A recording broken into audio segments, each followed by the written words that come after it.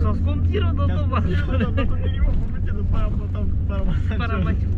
La Nu mai vin nici pe la ai pierdut pe drum, Sanchi. Am mă, dar mi-a adus decât două pastile, care să le-am băgat eu. Bine, vorbești din propria experiență? Am pus... Am pus iau parador, am dat pe paradorul ăla. Nimă, nu? Nu jumătate.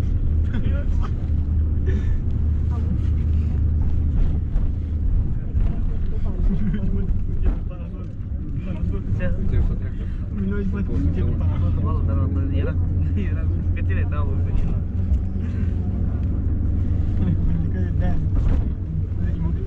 Care? Al doilea. Vindecare de Ah, Vindecare instantă la baie. Te-ai vindecat, cred că Bă, rău de tot. când îți sună șeptarii cu Lilia. Și până înăuntru și până în afară te, te vindecă. Hai să bea. Ah, apără și păzește.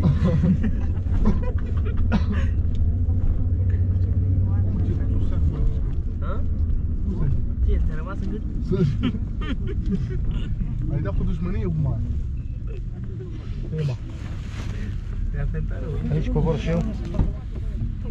Și că coboară tot. Am ce nevoie de... Așa zic fetele astea. Valentin? Valentin?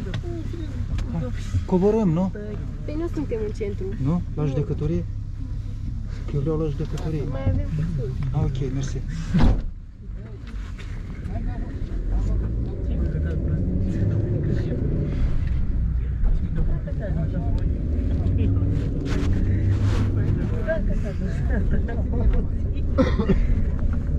Așa. Bravo. Acum care e drept. Ce-am făcut acum când am dus în casă? Fotocalmie. Înainte să moară.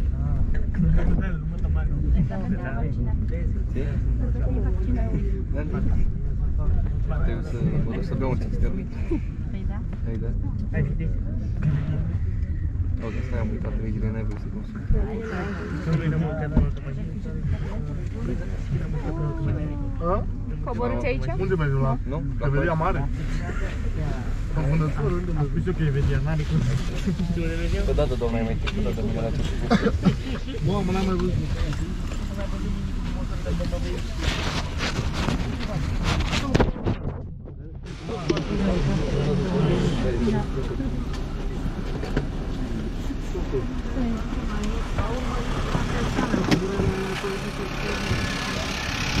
Nimeni nu primește bilet. Toată lumea co- călătorește în condiții periculoase și ilegale.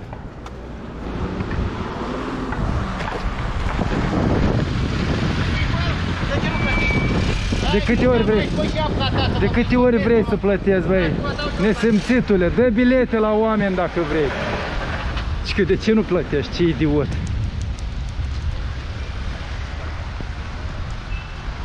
E adevărat, cel care era lângă mine în spate, nu l-am văzut să plătească și a coborât odată cu mine.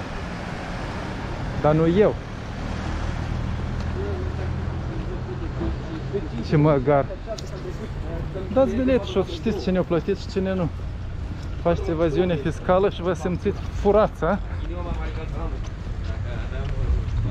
Secretarie Vorintin.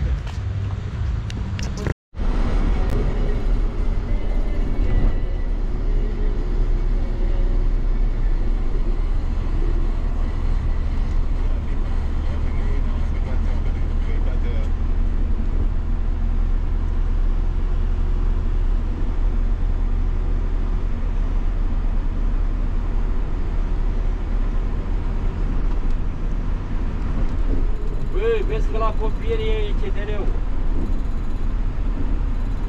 Da, vezi, sună și pe Victor. Că Victor nu e în fața ta.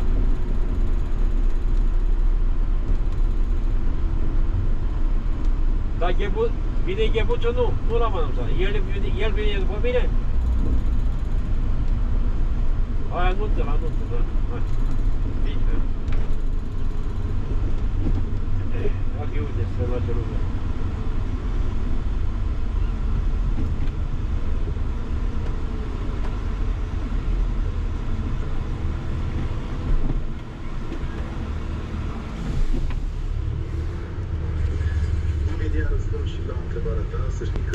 Então, context uh, geopolitic.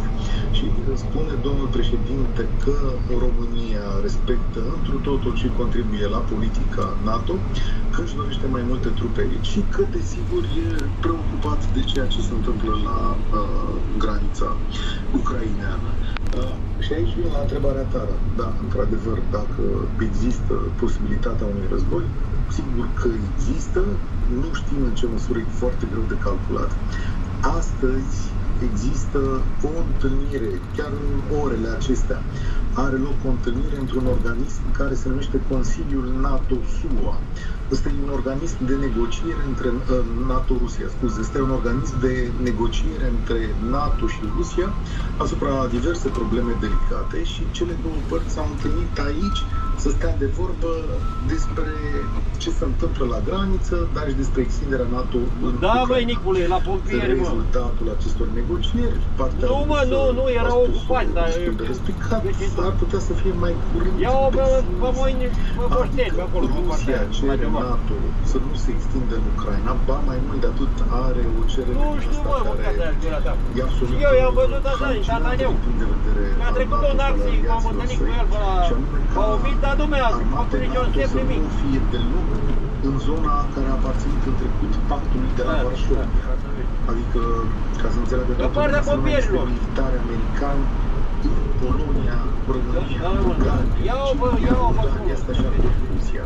E o cerere maximală respinsă. Dacă o iei pe la Zarcăp, pe acolo poți să te bată, știi? De partea cealaltă, uh, alianțele democratice spun că Rusia trebuie să-și ia Ucrainei, Astăzi sunt acolo Bă, sute că de mii de eu, militari bă, că mi-aș pica de bazați în capul zona meu, respectivă. da. Trei dintre ei participă chiar în aceste Ah, ore dracu, la da. manevre Bun, foarte aproape de granița Eu mă cer cu el și el... um, armata Da, americană zice că a e cerut pericol. Ce, rapoarte mă, de vreme, eu mă- pentru că e o vreme foarte Așa de potrivită putem să invazii stai mai mult, vehicle am un grele. fiol care Este stătea ca frig musul. și pământul Ia este zi, eu nu- uh, înghețat, ceea ce favorizează acest lucru. Da. Adică, cum se spune diplomatic și militar, e o fereastră de Bine, Nicu, hai. oportunitate.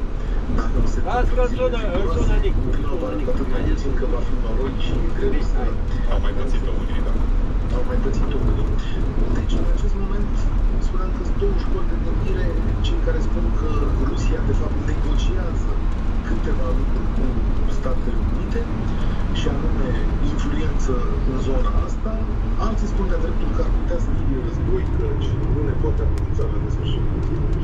Uh, N-aș putea să dau un răspuns clar, nu mă aventurez aici. Dar în orice caz, ceea ce se întâmplă între cele două părți